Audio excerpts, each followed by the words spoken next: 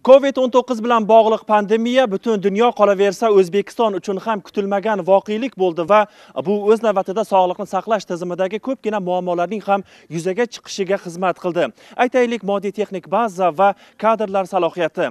Bukalik fuqaro esa dasturimizga murojaat yo'llab Covidning davosini topganligini ma'lum qildi. Bu haqida sal keyinroq to'xtalamiz, ammo bugungacha Bo'ka tumanida Covid-19 pandemiyasi sharoitida ko'rilgan ishlar haqida so'z yuritmoqchimiz.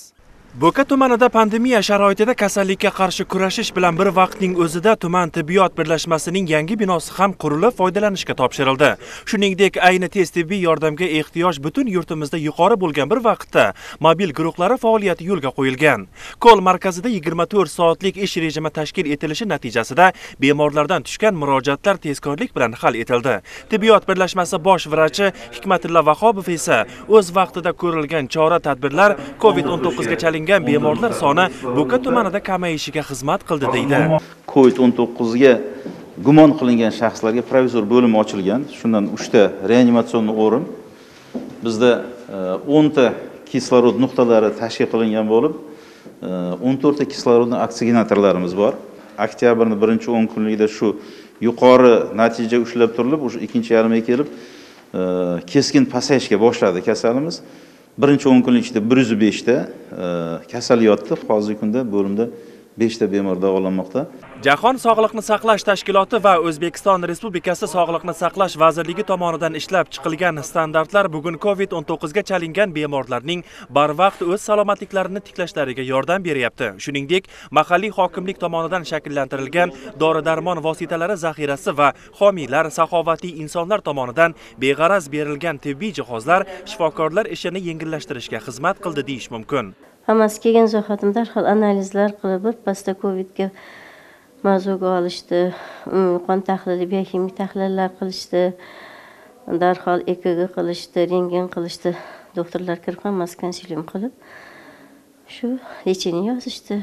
Tuman hokimligi tomonidan uch yuz yigirma million so'mlik e, zaxira uchun pul ajratib berishdi. Hozirgi kunda e, jami dorixonamiz bilan bo'limimiz o'zida bir yuz ellik million so'mlik dori darmon zaxirasi bu antibiotiklar issiqlik tushiruvchi preparatlar yo'talni yengillashtiruvchi preparatlar zaxirasi yetarli darajada bor.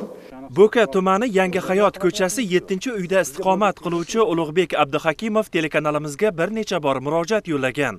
Ochig'i u koronavirusga davo topgani haqida sog'liqni saqlash vazirligi va bir qancha telekanallarga ham ma'lum qilgan. O'zining aytishicha u o'rta ma'lumotli va asosan dehqonchilik bilan shug'ullanadi. Oilamda 3 nafar farzandim bor. Ikki o'g'il bir qiz. Xotinim o'qituvchi. Katta o'g'lim shu yil sanpi bakalavriga kirdi.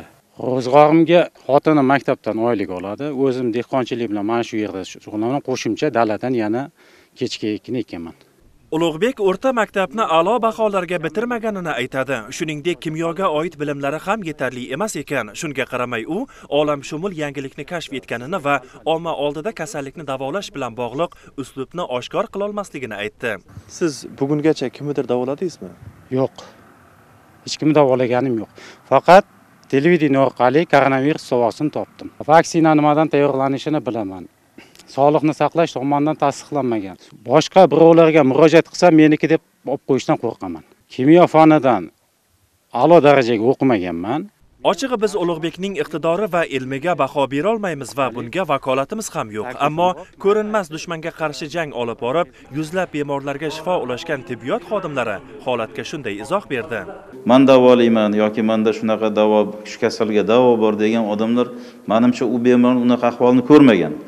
Agar o'sha ivel e apparatida yotgan bemorni yoki saturatsiyasi yetmish oltmish bo'lib qolgan bemorni ko'rsa uni e, shu ahvoldan chiqarib olishi mumkin yo bo'lmasligini o'z ko'zi bilan ko'rsa edi men man bu kasalni davolanaman deb aytolmasdi u. Saturatsiya tez pasayib ketayotgan bemor bu fibroz o'pkada fibroz beradi.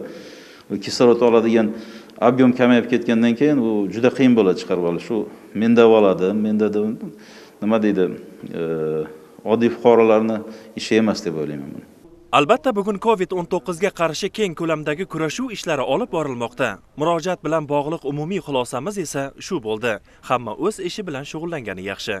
Elyor go'ro'g'liyev doniyor murodov zamon informatsion tahliliy dasturi uchun.